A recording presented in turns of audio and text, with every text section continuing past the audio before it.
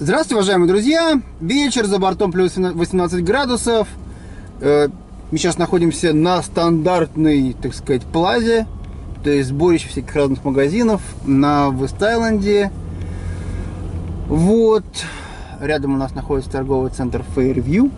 Это просто сообщаю для тех, кто просит комментировать, где я еду. И делаю маленькое видео по поводу того, что Сегодня а, газета «Ля Пресс» опубликовала очень интересную информацию по поводу работы Министерства миграции. Значит, что они сказали? Они сказали, что а, адвокаты сделали запрос в Министерство миграции с тем, чтобы те сообщили о том, какие результаты деятельности Министерства иммиграции за э, последнее время. И, собственно, Министерство миграции отчиталось, что в период, пойдем прямо, в период э, с мая, так сказать, в период за май точнее, э, было опубликовано, было рассмотрено более 600 иммиграционных дел. И, внимание, друзья мои, из этих 600 дел с хвостиком одобрение, то есть сертификат отбора, получило только 60 с хвостиком там 60, по-моему, 5 или 67 дел. Остальные, как вы понимаете, были отвергнуты, и люди после этого получили письма счастья отказа, что, собственно, вы не соответствуете критериям Министерства иммиграции Квебека. Соответственно, э, сегодня же утром премьер Лего выступил, выступил с речью, сказав, что система, э, по которой, собственно, работает сейчас Министерство миграции, она э, четко отслеживает потребности рынка труда. И, соответственно, те люди, которые, вот как называется, человек встал и и встал. Причем ни туда, ни сюда.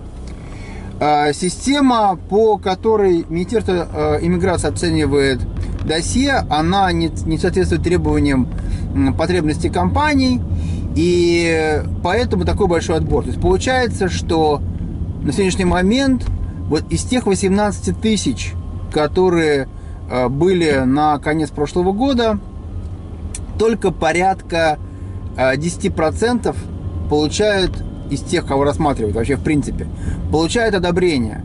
Все остальные летят э, в мусорное ведро, но не просто автоматически в мусорное ведро летят, а после того, как к ним применяют уже какие-то новые критерии. Мне кажется, это очень интересная информация. Получается, опять же, в этой статье прозвучала информация, что э, до сего момента критерии по, не критерии, а процент одобрения, который был в Министерстве миграции, он составлял порядка 40%. Сейчас, как я уже сказал, это всего лишь 10%. И, собственно, последнее, что хотел сказать, это то, что Министерство иммиграции говорит, э, что мы работаем в нормальном режиме, э, но в любом случае то, что мы показываем такие цифры, это просто так получается, такие кандидаты. Сегодня же, кстати, Министерство, точнее, Министерство, а правительство э, Квебека заявило, что оно планирует все-таки, да, я вам говорил о том, что есть такое правило, которое было принято в момент, когда была принималась Конституция, что каждая провинция имеет право а, для реализации внутреннего закона забанить действия а, каких-то положений Конституции или Хартии. Как вы знаете, в Канаде существует Хартия а, всяких разных свобод, и вот закон по поводу иммиграции и по поводу, ой, по поводу светскости Квебека нарушает определенные положения этой самой Хартии Свобод.